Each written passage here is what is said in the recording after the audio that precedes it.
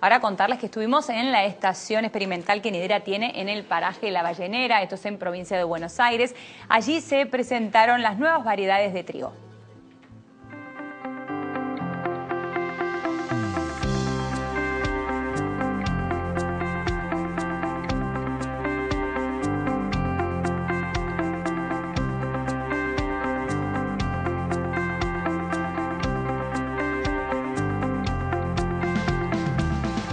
Encontramos en Paraje La Ballenera, en el Departamento General Alvarado, a 17 kilómetros de Miramar, donde la empresa Nidera tenemos una estación experimental, campo de cría de los productos genéticos, fundamentalmente trigo y girasol.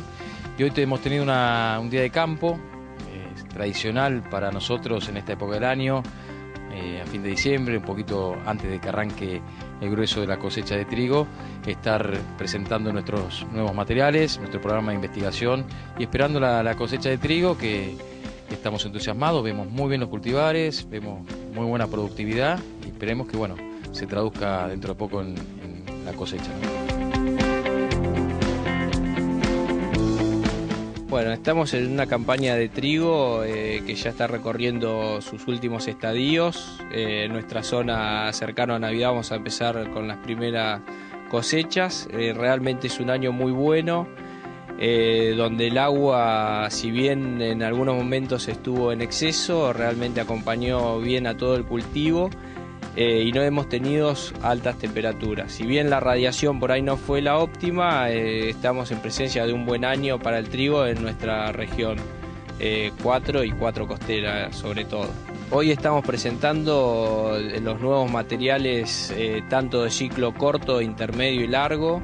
Los ciclos cortos estamos presentando al Baguette 501, que es una variedad de alto potencial de rendimiento eh, que realmente tiene una característica muy importante que es su alta tasa de llenado. Eso te permite lograr altos rendimientos con una variedad de ciclo corto en una época donde el llenado no es el adecuado para los trigos.